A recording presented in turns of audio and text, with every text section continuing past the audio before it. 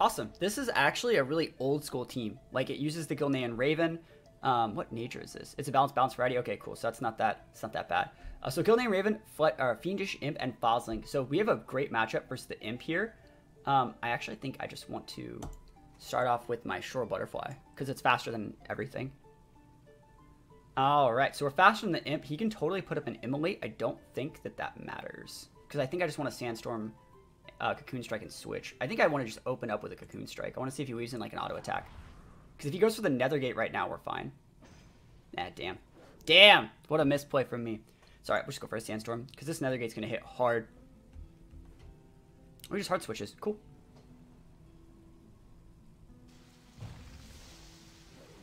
Alright. So we can just, we can technically stand here, but I think it's probably a better idea to switch off to uh, Void Scarred Anubisath. So right now we're playing a Sandstorm team. And Sandstorm does not work the same way that it does uh, in Pokemon. It does not work the same way. Man, that did a lot. That did quite a bit of damage. He's going to go for a dot. We're going to retake away his weather. Get him nice and low. And then hopefully we can finish him off with one of these. Hopefully it's not a low roll. Might have to go for a two-shot. Oh, he's actually hard switches. That's smart. Yep, but this is super effective because it's, uh, it's magic. Good morning! I could put up a Creeping Insanity on this thing and then hard switch and go for a deflect, but I think it's just more damage to go for two of these and save the Creeping Insanity dot for his Fiendish Imp. Yeah. But Sandstorm doesn't work the same way it does in Pokemon. In WoW, WoW, it reduces the damage all pets take by 75, and then their accuracy is used by 10%. So like Sandstorm's usually made to be used on like bulkier pets. And then we'll actually just get the KO here. Yeah, all of us are pretty much still at full. Like triple Sandstorm is like super good. Oh, we just missed. Absolutely never lucky. That actually really sucks. That was a bad miss for me. Can I not miss again? Awesome. Awesome. Alright, we are still alive.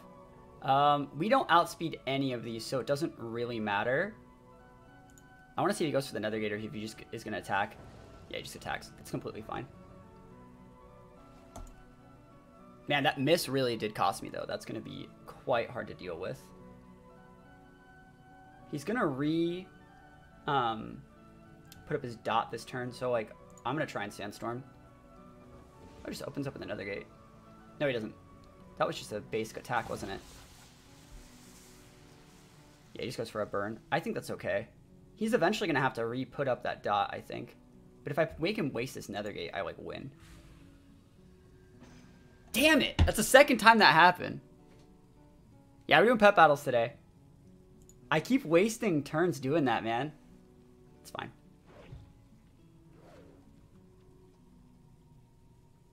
He's going to go for a sunlight here. We want to come in here. This guy's actually still playing pretty well. So sunlight, again, changes the weather. This thing is a really hard pet to deal with if you don't have like ability to change weather. Otherwise, he just out heals your whole team. Yep.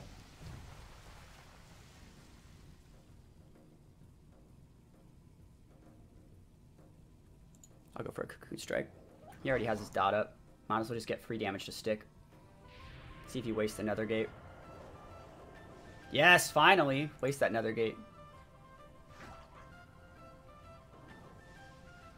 We actually don't do that much. Humanoids have a really good passive. Um, they recover 4% of their health if they deal damage this turn. So, like, really good passives on those things. But we're just waiting so we can come in with our uh, Anubisath Idol and win the game.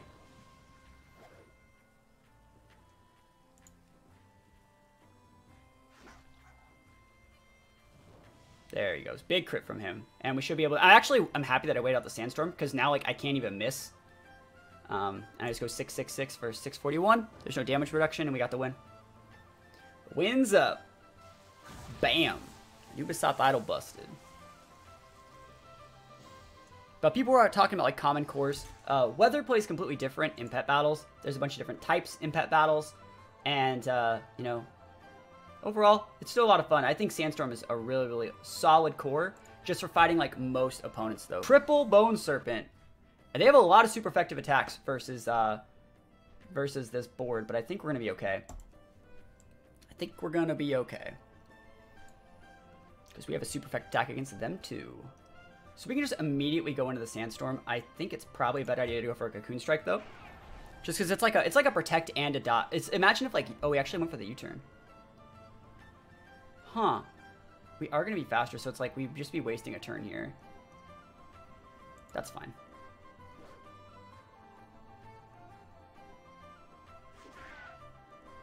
Well, that's really weird. Yeah, Cocoon Strike.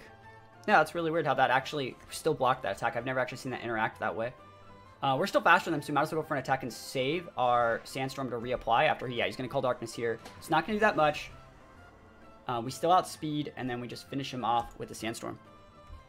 Bone Serpent's very, uh, it's, we're fighting the same guy right now, so that's why, like, the Bone Serpent looks to be so popular. We just keep fighting some guy that really likes Bone Serpent. He's to call Darkness here, so we're to block the cooldown with a Cocoon Strike. Yep. Cocoon Strike's so good.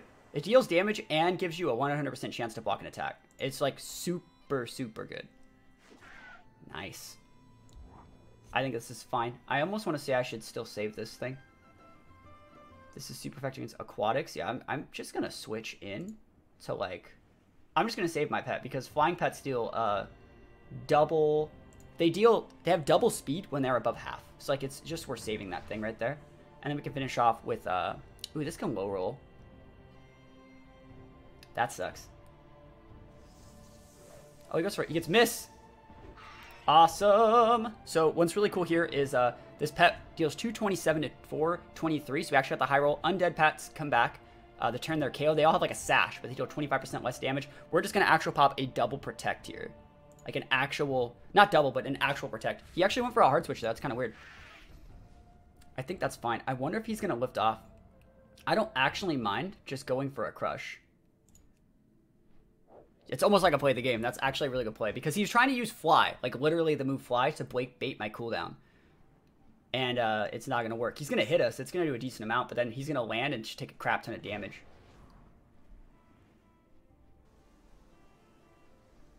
Yep. 666. And we restore some health. That's so good for me. Yeah, you can go for the Call Darkness. It's fine. He's the one taking big damage. I wonder if I should just... These are all cool now. If I actually deflect here, um, he's going to be super sad. Watch, so he's gonna, these are the only two moves he can use right now. There is a cooldown on them, and now he has all of his moves are stuck on cooldown. So, like, imagine if Pokemon had cooldowns. That's pretty much what this game is. He's going to come in here and lose this. Oh, he's at two. That actually really sucks.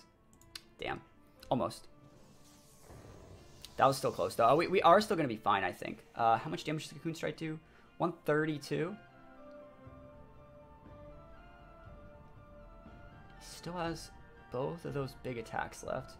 I think it's still better to bring out this guy. Because we'll just be able to proc the passive and then Cocoon Strike away next turn, maybe. Yeah, both Undeads are really popular, though, because they have that, like, built-in focus sash. Oh, he's, like, oh, he's doing that? That's fine.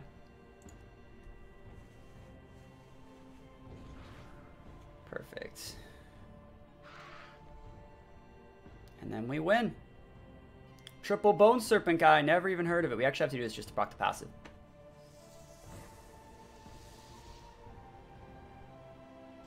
Boom! Oh, and we crit. Yo, you'll love to see it. Yo, I love it when you beat the... Like, this team that we're fighting against with a Triple Bone Serpent is, like, super degenerate. Like, this guy's, like, trying to cheese the game so hard. And I love it when we beat, like, cheese teams through just, like, safe standard play. It's almost like I play Battle Pets, like, completely different really from the way I play Pokemon. Triple Bone Serpent guy, he wants that run back. That's fine.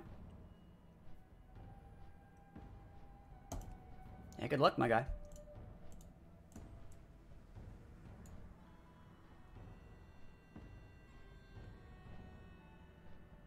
I'm just gonna go for a straight up like attack. 396 is strong. Now I'm actually curious about how this works.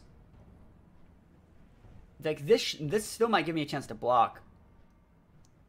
I want to see. I'm actually just curious how this mechanic works. Do, do I still get my block? I do. Awesome. Even if I, that's so good. It's like actually really, really nice. And so we just want to save our sandstorm. We want to wait until they call darkness and just sandstorm him. Oh, he crit me! Oh, that's really bad. That's like really, really bad. That sucks. Like getting crit there is the absolute worst. We just lost our butterfly. I did not want to lose this. Alright, cool. I didn't actually lose it, but I'm gonna lose it. We might as well just save it. Switch out into... I think I'm gonna switch the Void Scarred and actually just put up a dot. That's fine.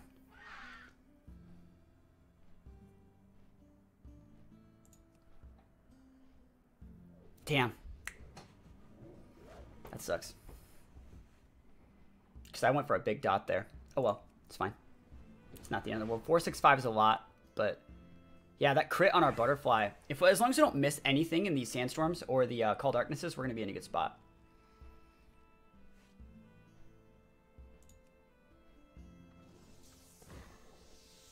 It's making me waste my... Oh, I just missed my freaking sandstorm. Are you freaking kidding me? 10% chance to miss. That's going to be game, probably.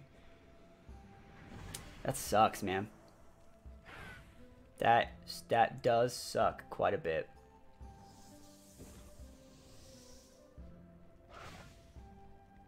Yeah, we'll see, but it's not looking too good.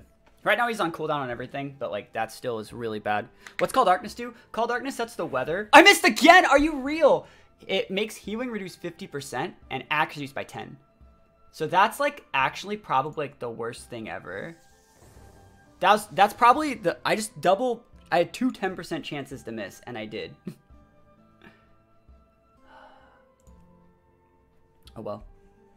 Yeah, I'll see if we can get something done here, but I'm not feeling it. I want to see him blow a good, a big cooldown here.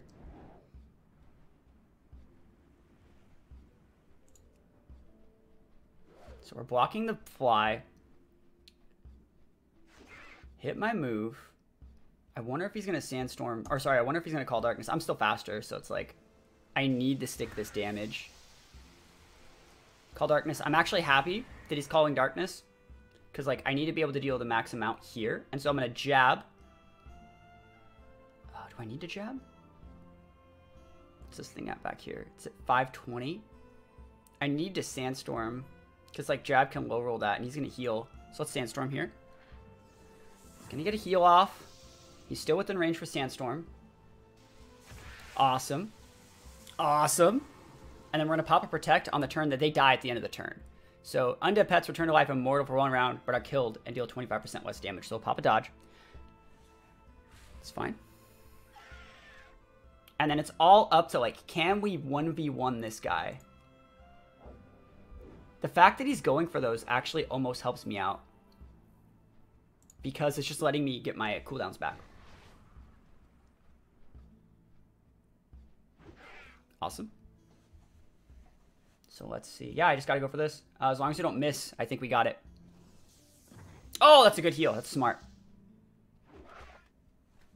Okay. If I deflect here, I block the Call Darkness because he has to use it because there's cooldowns. That's one of the strength. That's one of the weaknesses of the Bone Serpent. Like they're very susceptible to that type of damage. As long as I don't miss my move, I think I got it. Awesome. We missed so many moves this game. We were still able to win. Yo, feels bad for this guy. Feels bad using his super degenerate team, and we're still able to get those wins.